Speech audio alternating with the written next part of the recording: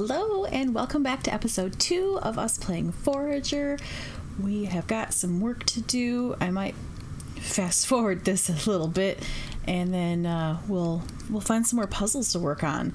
So, yeah, we definitely have some work to do because we need some money so we can buy more land, and we need to upgrade our weapons, and we need to build more buildings. Let's clear some of this out of the way. I want to get our sewing station built because there's a bunch of stuff that we can make with that and start upgrading our gear.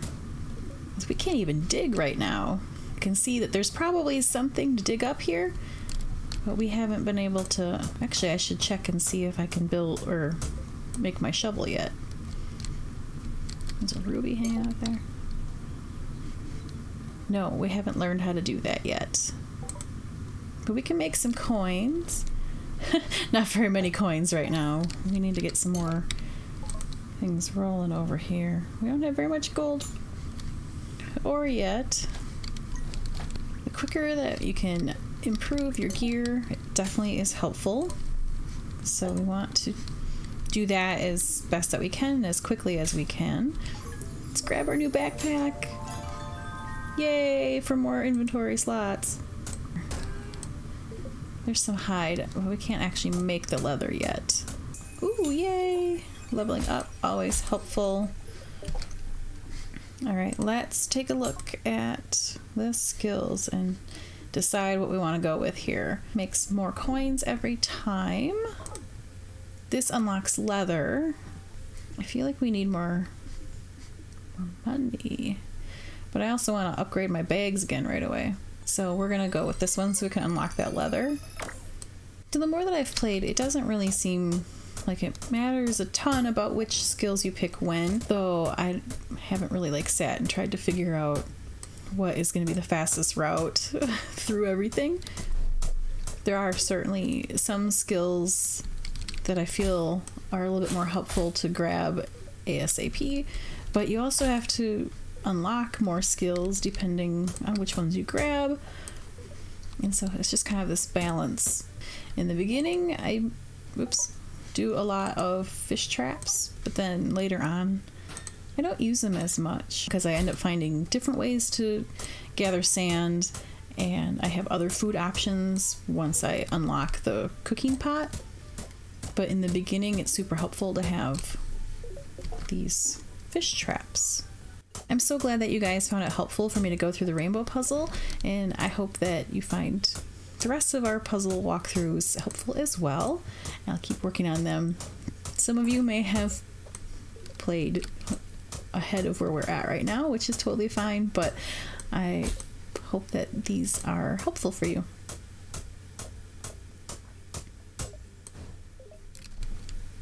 If there's a particular puzzle that you are having trouble with right now, or maybe one that you really like, do you have like a favorite puzzle so far? Let me know in the comments because I, if you need some help with one, I want to make sure that we do a video for that. But then I also want to know what you guys are liking for the puzzles. All right. What was the other one we were looking at? We want this to make more coins every time. Okay, so then unlock trade so we can we can build a market and banks. This is definitely what I wanted. I suppose if I would have grabbed st the storage, it would have unlocked that. But for now, the forge is how we make coins. But then once we can build a bank, those make coins. And then we can make our slimy pickaxe. So every time you upgrade your weapon, it has all the powers or you know additional things that your previous one had and then adds like adds to it. So it's not like you have to switch between them. You just automatically use the next one. This one builds pretty fast, so I'm going to let that build before I go to buy land. There it is! So it increases our damage, which is definitely helpful so that we can take things down faster. Alright, we have enough money to buy some more land, so let's buy this little piece of land here and go check that out. And then we're gonna build a bridge across right away. Alright, so I saw a boar. He's hiding somewhere. Where'd he go? The cow? Where's the boar? There he is. He gives you more. Well, I don't think that one gave more hide than the cow necessarily. He does sometimes, though. but he will come after you and attack you. So, whereas the cow, you know, she's chill. She won't bother you. And then we'll go inside this place in a moment so you can check that out and I can show you what you need to do in there.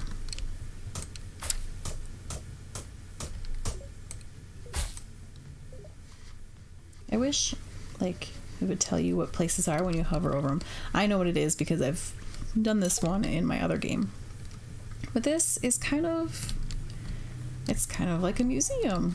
So you're going to be doing some collection stuff here. So they say, Welcome to the museum. Our collections are rather incomplete at the moment. Feel free to help me fill the bundles. You will get a reward for each one completed. And a super special reward if you com complete them all. So there are all kinds of things to do. The trapping, that is catching bugs and fairies in bottles. There's different cooking ones, alchemy, archaeology, building, mining, farming, and foraging. And I don't think we have enough of anything really. No, because you, you need 50 of almost everything uh, for this part. You don't have to collect 50 of absolutely everything in this place. And so in the beginning, like right now, it's kind of a lot because you you aren't able to gather up resources super fast yet, and you need resources for doing things, but it's fun to start collecting them. Uh, but like over here, like building, some of these things you only need five of because these are a little bit more resource intensive. This is plastic, this is electronics, and I think this was fiberglass. I think that's what that is. And it's the same with alchemy. Like it's except for the health potion is five. The rest of them it's only one.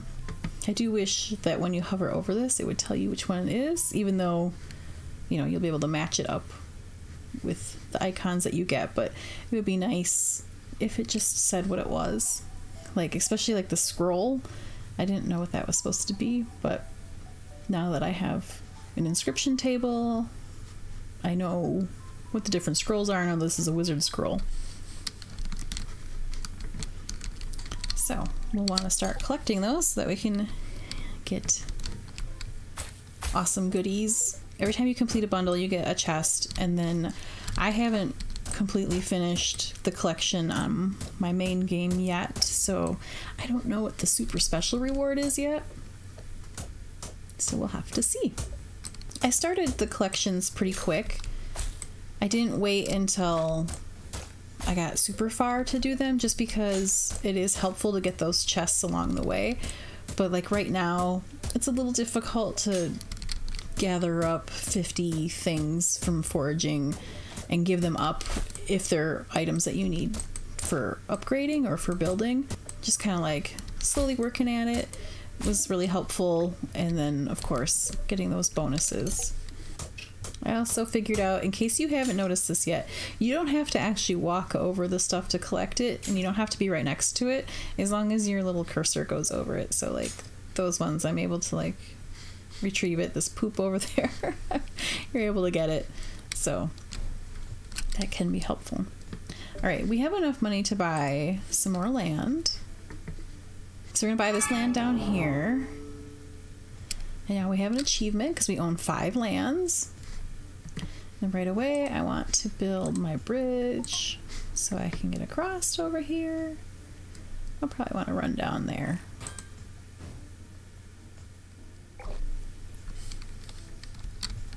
So we're going to want to go check that out. This also has opened up fairies. So if you hit E, you get experience points when you catch a fairy. Okay, I want to make sure I unlock banks now. Because that'll make the money come a whole lot faster. Get some get some experience points from these fairies. Super sweet of them to help us out. And whenever we make some bottles, you can catch them. And then use them at a later time for experience. And then there's also, I'm trying to remember if it was inscriptions or potions. There are some things later that you have to catch them for. And in the museum, they would like you to catch, I think it's five of them. Starting land gets very crowded quickly with all the things that you can build. And I want to try to make it a little bit more organized right from the start this time. Which may or may not happen. Alright, got some more inventory spots. Oh, I need to show you guys. It's nighttime now. The the fairies here, or the whatever the fairy queen, maybe? Uh, -huh. she says, Sweet child, I am. Oh, I am exhausted. She's not.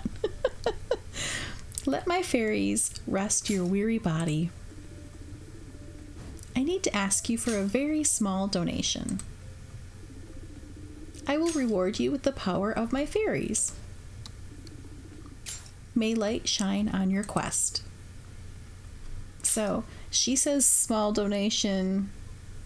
Her idea of small is a thousand. In the very beginning, that's not quite a small amount. Later on, it's certainly is very doable. Well, it's doable now too, but later on, a thousand doesn't doesn't seem like a whole lot to pull together. She only appears during the during nighttime though. During the day, she is not in this pool. I'm gonna make another furnace over here.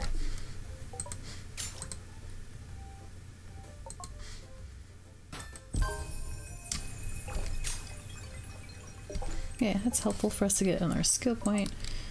What do I want to do with that right now? Let's unlock the shovel right now.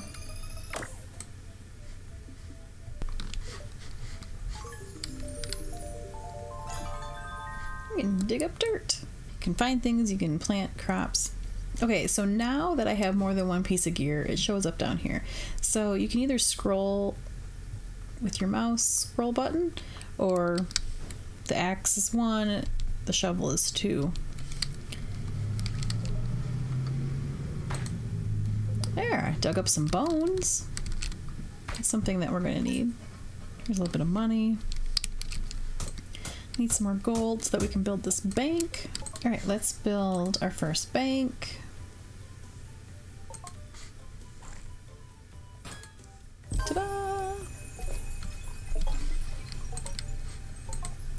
Let's see what skill we should go with this time. I'm gonna go with wood cutting right now. Trees drop more, and you're always needing the wood for making coal and then for bridges. Yeah, let's build our windmill. This just seems kind of in the middle of everything, doesn't it? Yeah, that works. Alright, so with this now, you can make seeds I haven't really done a whole lot with the planting and stuff because it takes three of them to make four seeds that you can plant. I just I haven't really found it super helpful to create seeds and plant them because there's just not enough return in my opinion on taking 3 to turn it into 4. But you can also make animal feed and so when you feed the animals it make it, they give you more resources. So like the chickens will produce more eggs and it can it, it can help create a golden egg. And then now we can turn the wheat into flour which will allow us to bake bread using the furnace. All right this increases our damage a lot and then we get more bones when we kill skeletons which we haven't unlocked the land with them yet but obviously that will come in handy. I'm gonna go in here and because right now we can't sell things that are taking up space in our inventory. So I'm gonna come in here so that I can at least make use of some of this stuff and not just delete it. We're really close to having enough flowers. We're gonna go ahead and put those in there. I know it's just one, but I'm gonna put that little cotton in there. These oranges. We got a lot of berries we can stick in there.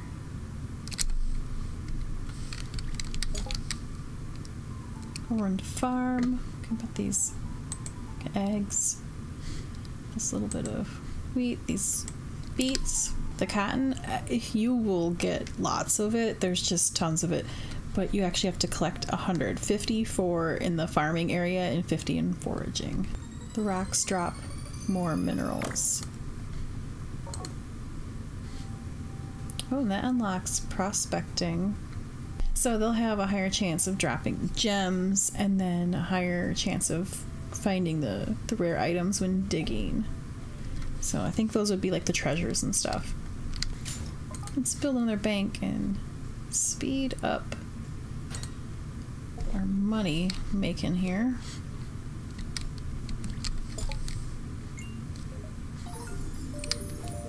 We also made our small wallet, so the coins are worth even more.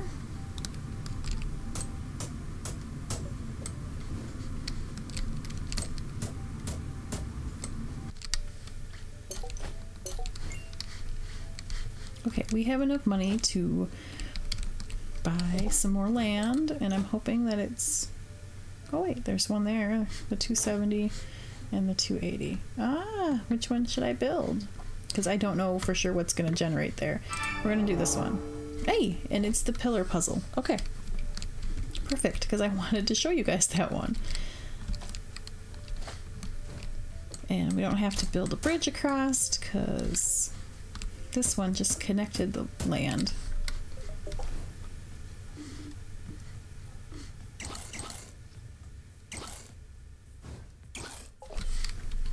Let's get rid of the slime guys.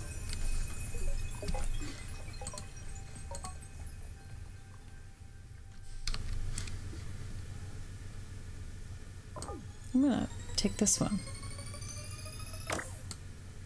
Okay, so we are gonna do the pillar puzzle. This is the grassland with the pillars, and you want to pay attention to what those little marks on there so that you can hit them in the right order.